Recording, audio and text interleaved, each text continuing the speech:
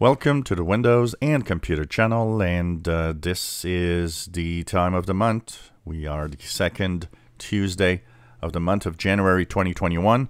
That means we are having updates today for supported versions of Windows 8.1 and Windows 10.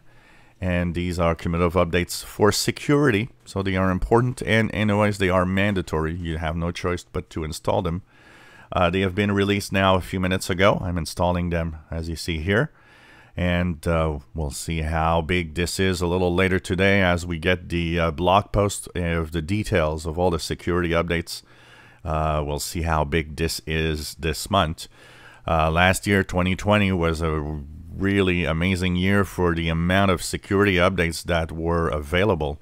I mean, there were some of the biggest months, actually, several of the months uh, like June, July, August uh, were some of the biggest, if not the biggest months for security updates since um, you know we have updates for Patch Tuesday of Windows. So um, we'll see how 2021 will go. So if you're on Windows 8.1 and on a supported version of Windows 10, just head on to your Windows update.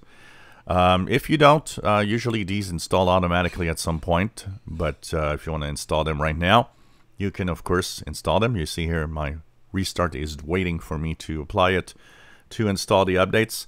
If there are any problems or anything that isn't going right, of course, I will be talking about it uh, for sure. And uh, later today, I'll be posting the details of uh, all the security flaws and how many important and uh, critical flaws are in uh, these fixes for the different versions of Windows uh, in the month of January 2021.